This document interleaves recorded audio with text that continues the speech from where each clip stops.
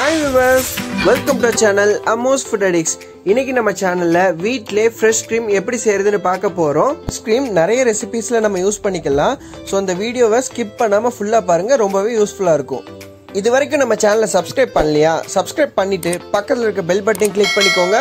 அப்பதான் நாங்க new videos போட்டா உங்களுக்கு நோட்டிபிகேஷன் வரும். வாங்க வீடியோக்குள்ள போலாம். இதுக்காக நான் ஒரு இரநூத்தி ஐம்பது எம்எல் பாலை காய்ச்சி ஆற வச்சிருக்கேன். நீங்க ரெகுலரா வீட்டில் பால் காய்ச்சிறப்போ ஆடை வந்து ஃபார்ம் ஆகும். அந்த ஆடையை நீங்க கலெக்ட் பண்ணி வச்சுக்கலாம். இந்த மாதிரி கரண்டி இருக்கும் எல்லார் வீட்லேயும். அதை வச்சு இந்த ஆடையை மட்டும் நான் எடுத்துக்கிறேன். இந்த ஆடையை கலெக்ட் பண்ணி அதை ஒரு வடிகட்டியில வடிகட்டி எடுத்துக்கலாம்.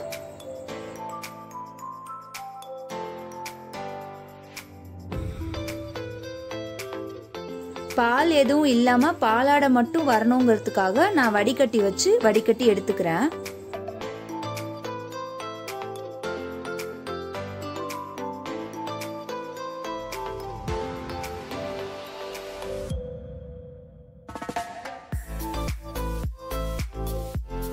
இப்போ இந்த ஆடைய ஒரு பாக்ஸ்ல ஸ்டோர் பண்ணி வைக்கிறேன். நீங்க பாலாடை எடுக்கிறதுக்காக ஸ்பெஷலா பால் காய்ச்சணும்னு கிடையாது. நம்ம டெய்லி பால் வந்து காய்ச்சுவோம் இல்லையா? அதுல இருக்கிற ஆடையவே நீங்க ஆற வச்சு இந்த மாதிரி பாக்ஸ்ல ஸ்டோர் பண்ணி வச்சுக்கோங்க. இதை நான் மூடி வச்சிடுறேன். மூடிட்டு ஃப்ரிட்ஜில் வைக்கணும். ஃப்ரீசரில் வைக்கக்கூடாது.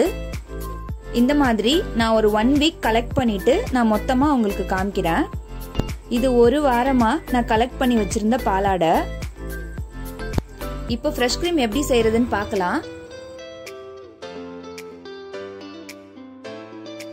இது கூடவே கொஞ்சமா காய்ச்சின சில்லுன்னு இருக்கிற பால். இப்போ கலெக்ட் பண்ணி வச்சிருந்த பாலாடைய மிக்சர் ஜார்ல போட்டு நான் பீட் பண்ணி எடுத்துக்க போறேன்.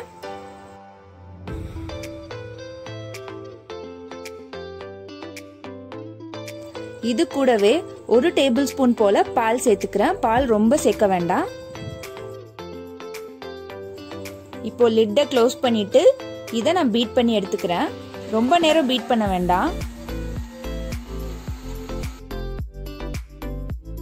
ஒரு டுவெண்ட்டி செகண்ட்ஸ் பீட் பண்ணால் போதும். ரொம்ப நேரம் நீங்கள் பீட் பண்ணீங்க அப்படின்னா அது வெண்ணெய் பீட் பண்ணதுக்கு அப்புறமா பாலாடையே இருக்காமல் இந்த மாதிரி நல்லா பிளெண்ட் ஆயிருக்கணும். இப்போ இதை நான் ஒரு பவுலுக்கு மாற்றிடுறேன் இப்போ இதை ஊத்துறப்பவே பாருங்க எவ்வளோ க்ரீமியாக இருக்குன்னு.